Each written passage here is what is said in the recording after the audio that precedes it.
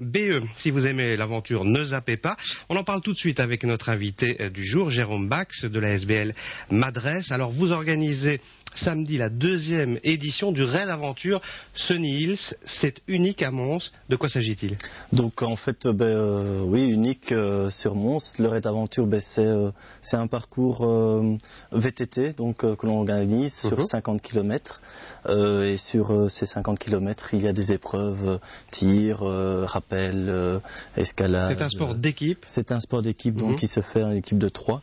Euh, et donc pendant tout le parcours, on est à trois en VTT et euh, on fait face aux épreuves qui sont qui sont ici. euh, Qu'on découvre effectivement en images quelques-unes euh, des épreuves. Alors vous, ah, vous êtes un petit peu, euh, hein, vous, vous aimez euh, faire souffrir les autres, donc il y a quand même quelques épreuves pas mal. Dites-nous un peu quelles sont les plus spectaculaires. ouais, donc il y, a, il y a les épreuves nautiques, il y a des épreuves en piscine. Ouais. Y a Sur une- le grand large aussi. Sur le grand large, oui. Qu'est-ce une- qu'il y aura par exemple sur le grand large? Donc ce sera une épreuve en, en bateau, hein, Mhm. donc où il y aura un parcours qu'il faudra faire en, en bateau. Ouais.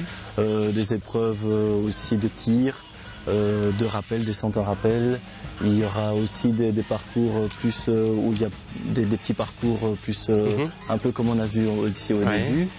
Et donc Euh, avec son VTT, on passe partout. Il faut pas avoir peur de salir après. Non, il faut pas avoir peur de salir, euh, ça c'est sûr. euh, on, se, on va un peu partout, on va dans des chemins qui sont parfois assez boueux, puis en VTT euh, c'est du tout terrain, donc euh, Combien de kilomètres 50, c'est ça? Ça veut dire que les, les plus rapides risquent de le faire en combien de temps? On estime plus ou moins en 6-7 heures euh, pour les, les plus rapides, et après bon ben euh, viennent, viennent les autres euh, quand, quand ils peuvent.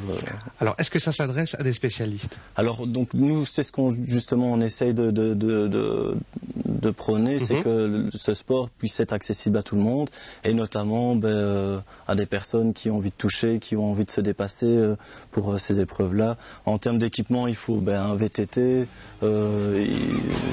une lampe de poche, une boussole et pour le reste on, on le fournit à ce moment-là. Ça veut dire que là, aujourd'hui, si je voulais me décider, je, je pourrais la faire. Il faut quand même un minimum, j'imagine, de conditions physiques. Oui, un minimum d'endurance physique, ça c'est sûr, parce que bon, 50 km de VTT, c'est quand même euh, pas rien. Donc, euh, et puis il y a les épreuves aussi qui, qui demandent parfois de, de l'investissement beaucoup plus physique. ouais. Bien, à vos boussoles et vos VTT, si cela vous intéresse, un seul site euh, pour les, les inscriptions. Oui. Vous nous le rappelez, c'est euh, madresseasbl.be. hein, c'est www.madresseasbl.tourattaché.be. Mhm.